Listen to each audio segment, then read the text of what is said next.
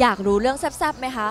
ไปกดติดตามที่ YouTube วันบันเทิงนะคะ กดกระดิ่งด้วยนะคะ จะพาไปดูความสวยของโอ้โหสาวใหม่ดาวิกากันก่อนแซ่บเวอร์เออตอนนี้นะคะ น่าจะได้เห็นหน้าค่าตากันบ่อย เพราะว่าเธอกำลังถ่ายทำละครฟอร์มยักษ์กับทางช่องวัน 31 นั่นก็คือเรื่องวันทองค่ะ มีคิวออกอากาศในช่วงต้นปีหน้านะคะ ตอนนี้ถ่ายทำอย่างหนักหน่วงมากๆเลย แต่ล่าสุดวันทองของเราไปทะเลทิ้งผ้าถุงค่ะ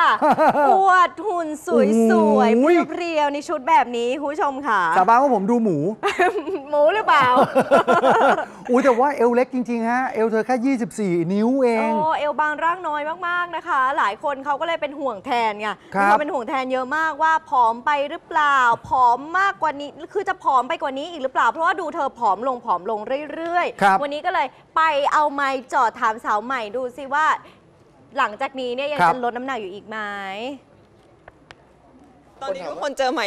ไม่ไม่บอกว่าสวยแล้วบอกทำไมผอมจังคะทำไมผอมจังคะแต่ที่จริงก็ไม่ได้ผอมขนาดนั้นนะคะ ใหม่เลยอยากกินอะไรบ้าง ใช่